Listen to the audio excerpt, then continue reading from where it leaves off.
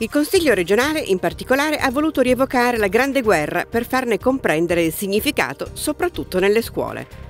Lo ha fatto con un video intitolato La Grande Guerra 1915-1918 della serie Piemonte Memoria, pubblicato sulla social TV dell'Assemblea regionale. L'opera contiene preziosi materiali d'archivio e una rigorosa ricostruzione della vita nelle trincee, con interviste a storici come Gianni Oliva e Alessandro Mola.